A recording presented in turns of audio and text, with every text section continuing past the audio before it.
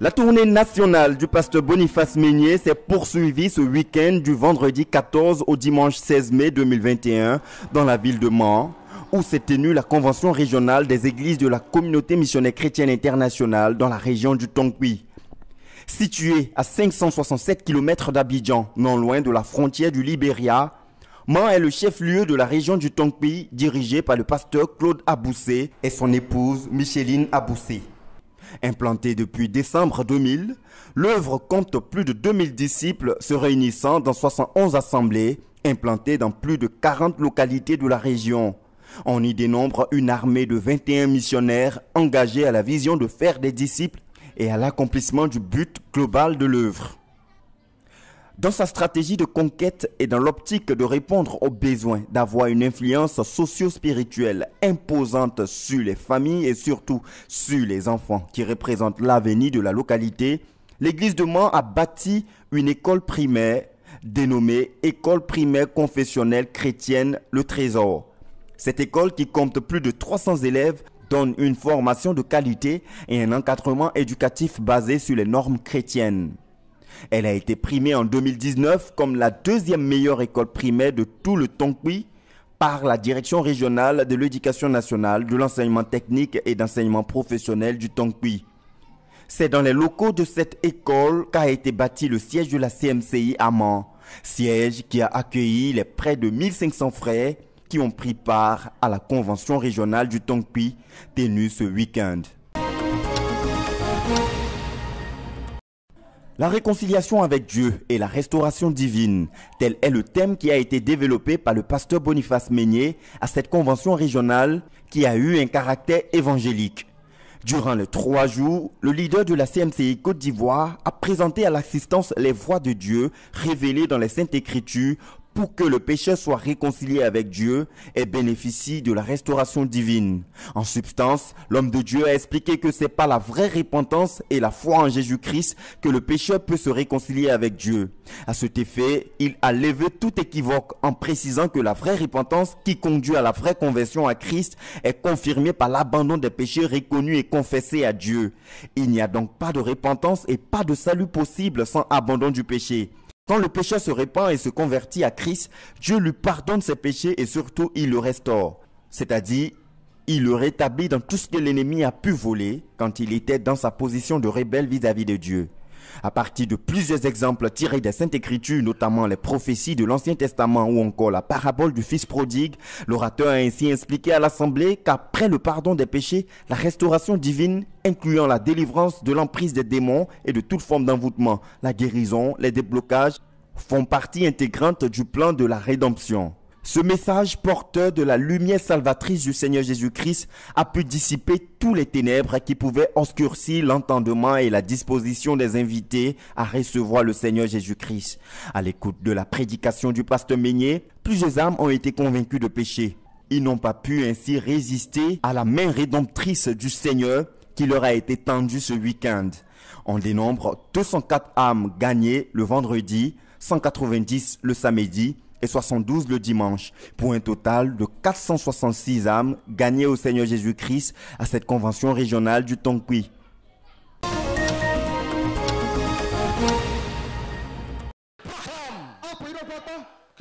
Je voyais Satan tomber du ciel comme un éclair. Voici, je vous ai donné le pouvoir de marcher sur les serpents et les scorpions et sur toute la puissance de l'ennemi, et rien ne pourra vous nuire.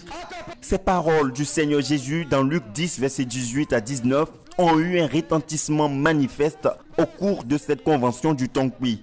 Convention qui a connu son apothéose le dimanche 16 mai, où l'orateur, le pasteur Meunier, a conduit l'assemblée dans un intense moment d'intercession et de combat spirituel, marqué par des proclamations, l'exercice de l'autorité contre les démons, le brisement des blocages et de toute forme d'envoûtement, et des prières de guérison. Le Seigneur a puissamment agi pendant ces prières de combat. Les démons libéraient les âmes en poussant des cris de défaite.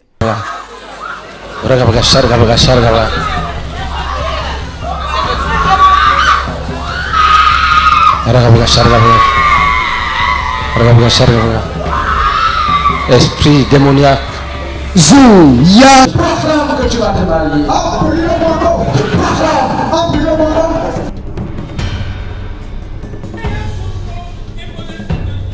Comme en témoignent les visions reçues par les saints, le ciel était ouvert au-dessus du site de la rencontre pour faire descendre les bénédictions divines. Les prisons spirituelles ont été brisées et plusieurs frères en ont été libérés. Et quand le pasteur a commencé à briser les liens, les casser des, des- des prisons, il a trouvé des soeurs, des frères qui sortaient de la prison des bouteilles. Gloire à Dieu. Et c'est comme ça que moi je vis. Offrande d'acclamation à Jésus-Christ. Pendant qu'on priait, j'ai vu, en fait, sous un gros, une grosse montagne comme ça, tuyau. C'est-à-dire, il est totalement en, fer. C'est difficile de le casser. Mais personne ne pouvait savoir.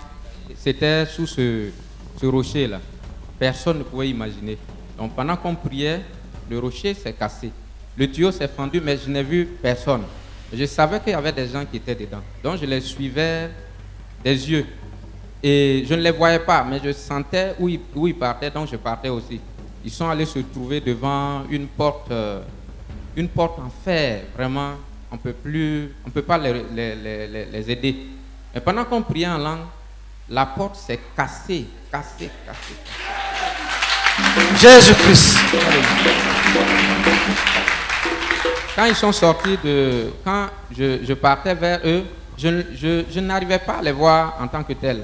C'est-à-dire, quand ils sortent, s'ils sortent, ils doivent être tombés dans un trou où il y avait de l'eau.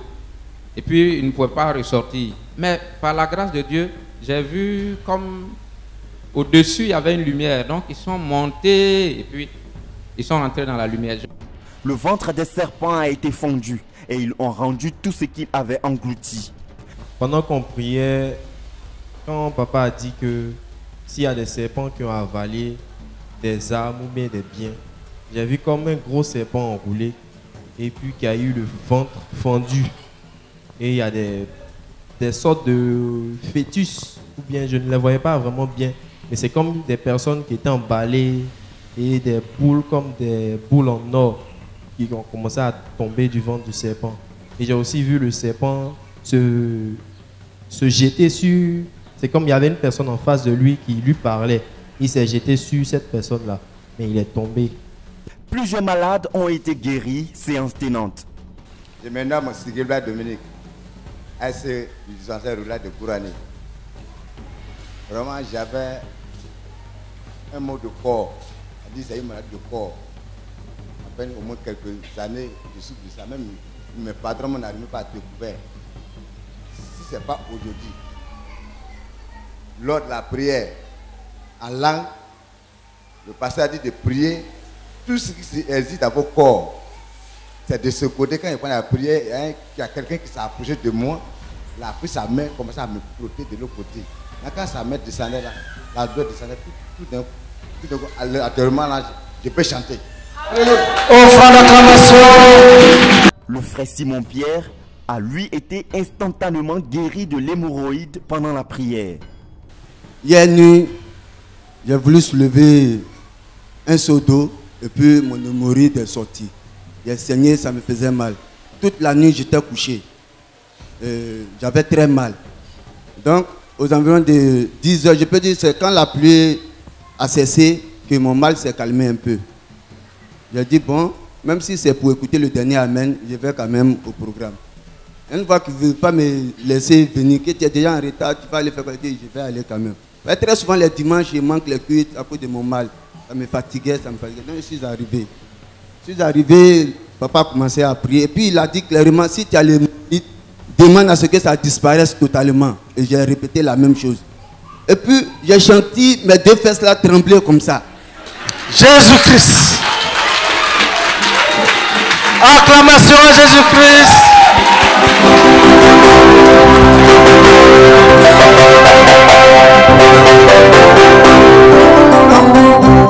Donc, quand ça tremblait, j'ai ouvert les yeux et puis j'ai regardé derrière, il n'y a personne.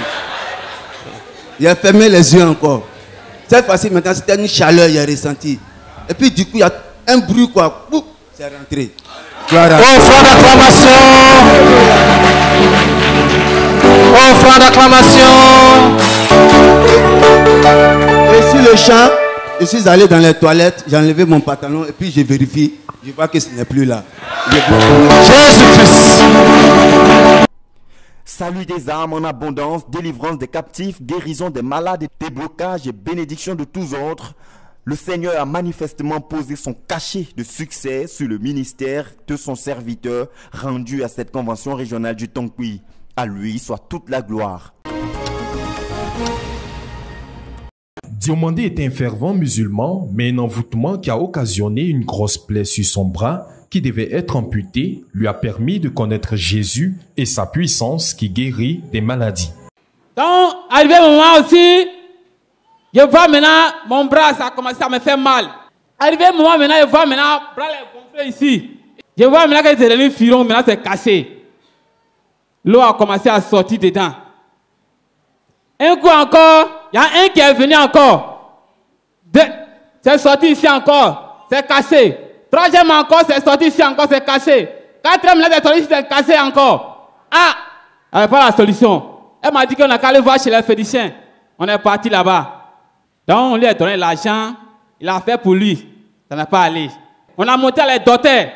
Ce qu'on veut faire, c'est vous couper le bras là. Là, ça va rester un bras. Il y a un moment, elle est venue me parler. Elle m'a dit, il faut que tu donnes ta vie à Jésus. hein. Quand elle m'a parlé Jésus, elle a dit, non, même pas c'était Jésus. Ma famille même là. Et tous ceux qui ne connaissent pas Jésus. Elle a appelé eh, bateau à Paul. Il dit, Désiré, c'est Jésus qui peut enlever sur toi. J'ai accepté Jésus-Christ. Parce que a commencé à prier pour moi. À la demain maintenant, je suis parti dans la douche. Je suis parti me soigner maintenant. Je vois quelque chose qui veut sortir ici. J'ai vu maintenant tout est devenu large maintenant. Je vois quelque chose qui est sorti. Un coup, je vois quelque chose est sorti pour tomber. Alléluia. Étant celui qui a prié pour lui, le pasteur Paul ne manque d'exprimer son étonnement par des mots simples et vrais. Nous avons prié pour lui. C'était un miracle. Un miracle extraordinaire. Après la prière, le frère été guéri complètement. Il n'a pas été à l'hôpital, rien. C'est comme ça la plaie s'est cicatrisée. Tous les trous. Et son bras fonctionne. Donc Jésus guérit. Amen. Celui qui apparaît sur l'écran en ce moment se nomme Sumaoro. Il était devenu fou, il mangeait dans la poubelle, et ce, sous l'effet de la drogue. Mais l'amour du Seigneur dans sa vie s'est grandement manifesté et a redonné un sens à sa vie. J'ai fait un mois sans me laver et je mangeais dans les poubelles. Je dormais en brousse en brousse dans la ville de Biancouma. Je me promenais sans chaussures. Souvent, je m'en vais à la gare où les femmes vendent riz et jettent la nourriture dans la poubelle. C'est là-bas que je m'en vais prendre et je mange. Un jour, j'étais couché. Un esprit m'a parlé. Descends en bas derrière la mairie. C'est là-bas que tu vas trouver ta guérison. C'était un jour de dimanche. Quand je suis arrivé, bon, j'ai trouvé une église de nom de CMCI. J'étais assis dans la cour et ce jour-là, tout le monde avait peur de moi. Ouais, j'étais très sale, fou même. Oui, tout là, je n'ai pas reçu. Ils m'ont pas reçu, donc je suis retourné en ville encore. Le deuxième dimanche, l'esprit m'a touché encore. L'esprit dit, où tu es parti? Au fond là, va là-bas. C'est là-bas que tu vas gagner ta guérison. Et le deuxième dimanche, je suis venu. Le pasteur est venu me voir et il m'a prêché Jésus. J'ai dit oui à Jésus. Et le pasteur a dit, il m'a envoyé l'eau, je vais me laver. Et je me suis lavé. Et après tout ça, il m'a dit de me repentir de mes péchés. Et j'ai accepté. Et après ça, le pasteur, il m'a baptisé. Et maintenant, je ne fume plus. Je suis délivré totalement de tout.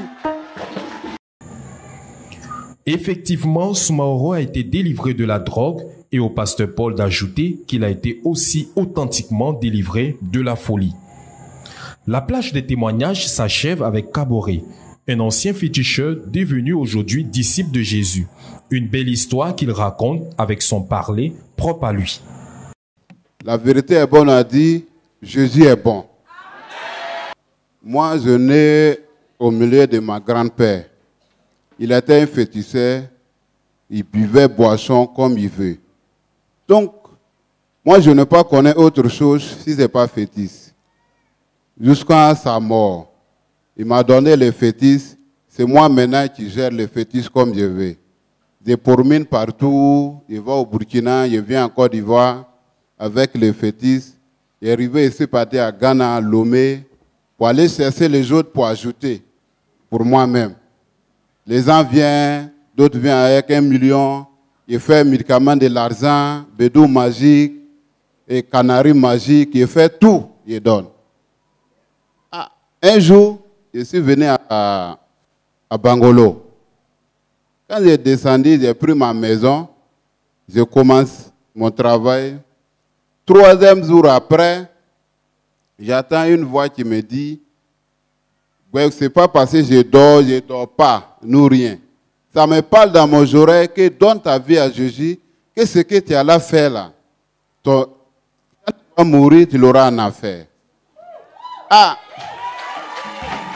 Je me suis levé le lendemain matin, ici allé dans le bistrot. Je dit non, je ne veux pas entendre ça dans mon oreille. Il y a bu un litre, ça ne va pas. Il a ajouté deuxième litre, ça ne va pas. Maintenant, il fait comme moi-même, il ne sait pas où il faut rentrer encore. Il a croisé les jeunes et vendait les drogues. Ce jour-là, j'ai pris encore pour ajouter ici, aller me coucher, ça ne va pas. Fétis là, j'ai cessé poulet. Fétis là n'a rien dit. Je suis allé, c'est un ami fétisseur. C'est là-bas même j'ai dormi. Nous tous, on a buvait des coups de goût. Donc, lui m'a dit que non, lui, il paye. Il a limé les fétiches, tout, venait avec les wouchna, pour me wouchou, tout, rien. Il dit, moi, je m'avais à l'église. Il dit, moi, je connais l'église Oucha. Il dit, bon, je vais chercher. Donc, il fait jour maintenant, je me suis levé, j'ai commencé à promener dans Bangolo, je sais où il y a l'église. Où je rentre, les têtes là, c'est que ça parle dans mon tête, on dit, c'est pas ici, il faut quitter là, là. Je sors encore. Je promène. Donc, il restait à promener jusqu'à vers les 15 heures. Ici, aller croiser un frère en marchant avec son enfant. Il dit, tu connais pas où il y a église et assemblée de Dieu à côté ici. Il me demande c'est pourquoi? Il dit, non, la vérité, moi, je suis un féticheur, mais maintenant, je vais donner ma vie à Jésus. Il dit, Offrande d'acclamation. c'est ça, il, il m'a dit, ah, qu'est-ce que ça tombe bien? Que lui-même, c'est un dirigeant de l'église CMCI. Que donc, alors, on. Le pasteur, il a prié pour moi. Il dit, bon, d'aller ramasser fétiche là pour venir. Le pasteur, il a prié dessus, il a brûlé. Fétiche a fini de brûler maintenant. Ah, moi-même, j'ai problème. Donc, c'est que ça parle, si moi, mon tête, on dit, voilà, à partir de trois jours seulement, toi seulement, ils vont t'enterrer. Ça parle si moi, mes oreilles comme ça. Personne n'attend pas. Moi, j'ai arrivé, j'ai dit à le pasteur, il dit, bon, laissez de prier. J'ai dit, c'est gâté. C'est moi-même qui a donné, ils ont brûlé, mais je sais mourir dedans, il n'y a pas de problème. Quand le pasteur prie, les choses qui viennent derrière moi là, ça brûle comme ça, comme fait, comme braise qu'ils ont versé, et puis ça brûle. Donc, jusqu'à trois jours, quatre jours, tout ce que ça parle là, ça parle tous les jours. Mais, par la grâce de Dieu, une nuit, ils ont prié pour moi, on a dormi. C'est véritablement cette nuit que va s'opérer une grande délivrance dans un songe que nous relate son faiseur de disciples pour une meilleure compréhension. Il dit que il a, c'est des blancs qui sont venus avec des machines et ils ont commencé à sectionner tout ce qui était sur sa tête, les antennes qui faisaient qu'il entendait dans le spirituel. Et ensuite, ils ont commencé à découper dans son corps pour enlever toutes les suies. Je me suis réveillé, j'attends rien encore, je comprends rien. Donc aujourd'hui, au moins je suis arrêté, ça me fait 10 mois aujourd'hui, je ne sais pas encore mourir. Donc, donc je remercie très bien Jésus-Christ que l'homme qui va aller, c'est le fétiche. Fétiche peut rien faire.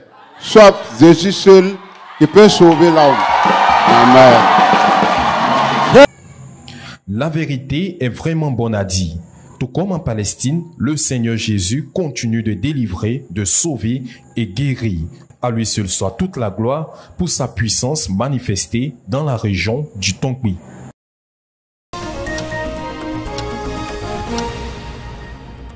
La tournée nationale du pasteur Boniface Meignet se poursuivra ce week-end où il sera dans la région du Béquet, précisément à Boaké. Le thème de cette rencontre sera la vraie repentance et la restauration divine, thème qui donnera une allure de campagne d'évangélisation certainement à cette convention régionale. Restez connectés sur les antennes de la radio-télévision Voix de la Croix pour avoir toutes les informations de la CMCI à travers le monde, en Afrique de l'Ouest et en Côte d'Ivoire. Quant à nous, nous vous donnons rendez-vous pour les prochaines éditions d'informations. Bonne suite de programmes sur les antennes de la radio-télévision Voix de la Croix, la chaîne de la Bible.